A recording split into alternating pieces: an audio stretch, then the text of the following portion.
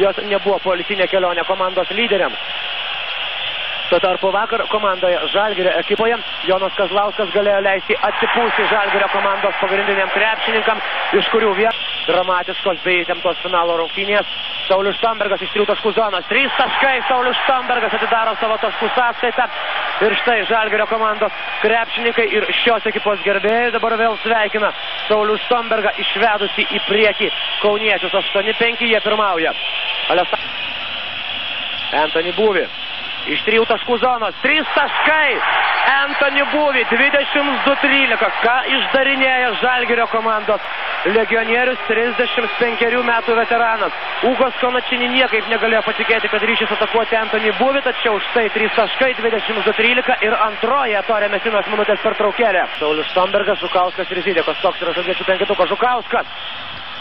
Trys taškai, Aurelijai Mindaugas Žukauskas dabar pelno tris taškus ir štai Darius Maskoliūnas dabar stoja į dvikovą, kol kas tiesa žodinės Alessandro Arijo, dabar labai grubiai žaidė.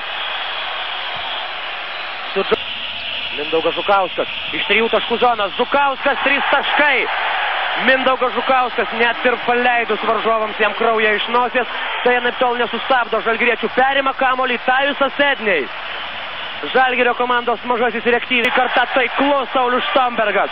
Dar viena vienis Kinder komandai. 50-33 didžiojo finalo pabaigos. Edniai iš trijų taškų zonos. Trys taškai. Tajusas Edniai. Dar... Svarbiausia reikia, aišku, neduoti dabar patikėti savo jėgomis Kinder krepšininkam. Dainis Adomaitis, trys taškai ir dar pražanga.